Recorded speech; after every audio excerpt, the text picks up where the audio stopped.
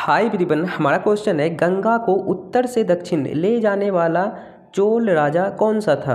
Option number A है Raja Raj Chola option number B है Mahendra option number C है प्रांतक option number D है राजेंद्र चोल।